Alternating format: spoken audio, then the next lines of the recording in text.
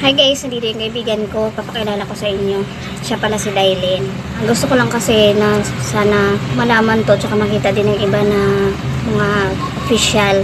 Kasi kailangan din niya ng tulong. Solo parent kasi siya. Tapos ma- may ano siya, may apat na anak. Apat ba? Hmm. Ay, lima pala. Lima yung anak niya kaya kailangan niya talaga ng tulong. Pareho din naman kami walang wala. Pero mas gusto ko talaga na siya yung matulungan kasi wala talaga siya trabaho. Tapos, yung papa niya nagtitinda sa palengke. Tumutulong din siya doon. Siya din naghahatid sundo ng, ng mga anak niya. Siya din naghahatid sa eskwelahan. Tapos, siya din nag-aasikaso ng pagkain ng mga anak niya. Siya pa rin naglalaba. Kasi kailangan, kailangan talaga niya ng tulong dahil yung trabaho niya kasi dati, nagpupukpuk.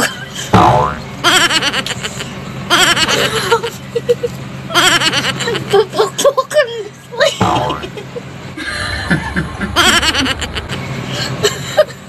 para may pakain sa anak niya. Ay, hindi kayo seryoso. Dati kasi ano, naghihintay lang yan ng mga customer doon sa daan para lang may pakain. Grabe siya. Grabe siya. Grabe siya. Grabe siya. Tapos hindi pa siya ganong ano, makapagsalita ng ayos kasi nga may sakit siya. Kaya baka gusto niya siyang tulungan. Hindi siya makapagsalita ng matuwid kasi ngungo siya, di ba? Um- Umingi ka sa kanya, Humingi ka sa kanya ng tulong. Ah, hindi anak ako tulong.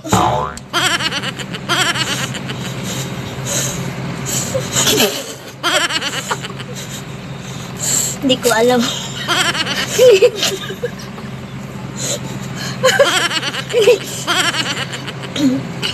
May sa kanila ng tulong.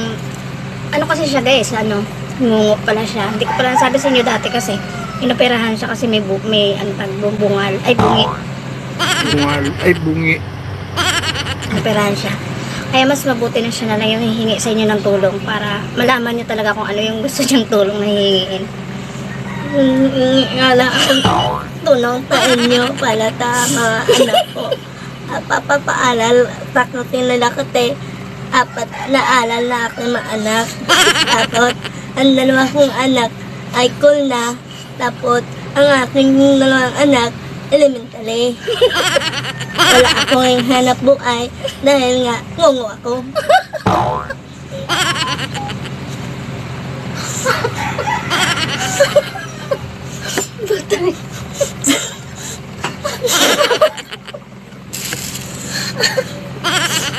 Hindi nyo lang alam kasi guys, dati kasi nagtatrabaho din yan. Nung hindi pala, nung hindi pa pala siya na operahan sa pagkabunga.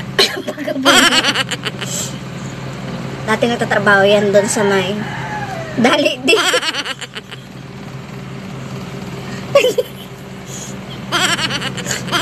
Nagtitipon. Pampansit-pansit. Tag 150. na yun naman nagte, na yung magkaka.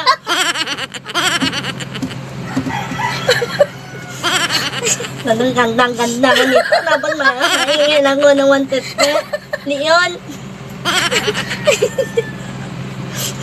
Hindi kayo seryoso. Ano?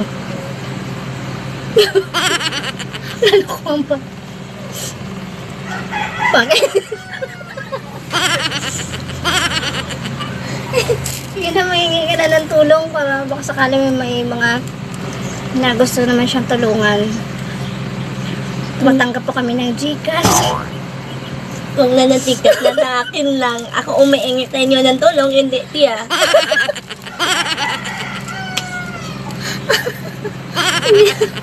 Ito yung kaibigan ko na nilalaglag ako. Ito yung kaibigan ko na nilalaglag ako.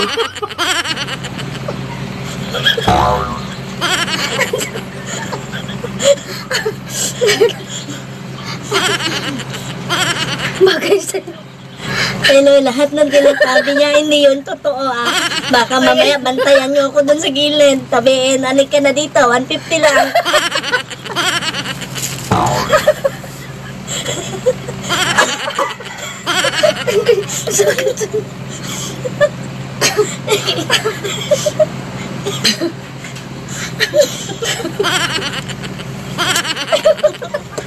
Makikita ni Papa. Vincent, yan o, bata.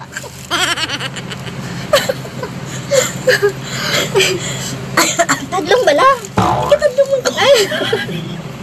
Tum tumuwid po yung pagsasalita niya kasi. Ayaw niya matanggap ng 150 lang kasi maganda doon. Hindi guys, seryoso. Seryoso po. Seryoso po tayo. Kailangan po talaga niya ng tulong. Kasi nga, dahil sa lima niyang anak, wala siyang boyfriend, wala siyang asawa ngayon. Solo parent po siya. Kaya kung sino dyan, yung may gusto, 150 lang. Mamamit din lang naman kayo. Hindi kasya. Pamasahe pa lang. Wala na. Pambili ko pa yun ng ipin. Eh.